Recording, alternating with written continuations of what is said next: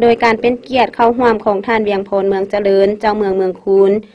มีพันโทวงศรยาจงตัว หัวหน้าห้องการเมืองกองบัญชาการทหารแขวงเสียงขวาง มีบรรดาแผนการที่เกี่ยวข้อง คณะพักคณะบรรษาพร้อมด้วยพนักงานนักรบกองบัญชาการทหารเมืองเข้าห่วม ในพิธีพันโทสีสมพรอ่อนดาวง หัวหน้าแผนกพนักงานห้องการเมืองกองบัญชาการทหารแขวง ได้ขึ้นผ่านข้อตกลงฉบับเลขที่517กองบัญชาการทหารแขวง ลงวันที่ 16 กรกฎาคม 2020ว่าด้วยการแต่งตั้งหัวหน้าคะแนง และหัวหน้าห้องหัวหน้ากองห้อย12กองบัญชาการทหารเมืองคูนกองบัญชาการทหารแขวงเสียงขวางตกลงแต่งตั้ง หัวหน้าคะแนงอยู่กองบัญชาการทหารเมืองคูนคือ แต่งตั้งสหายพันตีอ่อนตาพันมณีเป็นหัวหน้าคะแนงเสื้อไฟ พันตีสมพรนรสิงห์เป็นหัวหน้าคะแนงโฆษณาอบรม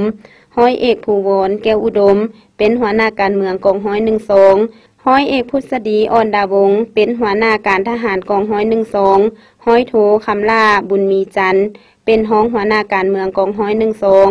ห้อยโทกู้ท่อยงหัว เป็นหัวหน้าแขนงพนักงาน และแต่งตั้งห้อยโถสมเพชรดวงดาวง เป็นหัวหน้าแขนงจัดตั้งพัก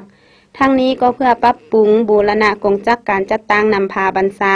ในกำลังประกอบอาวุธท้องถิ่นเว้ารวม เว้าเฉพาะแม่นกำลังของกองบัญชาการทหารเมืองคูนให้มีความเข้มแข็งนักแน่นในหอบด้าน เพื่อเฮ็ดสำเร็จหน้าที่ปกปักรักษา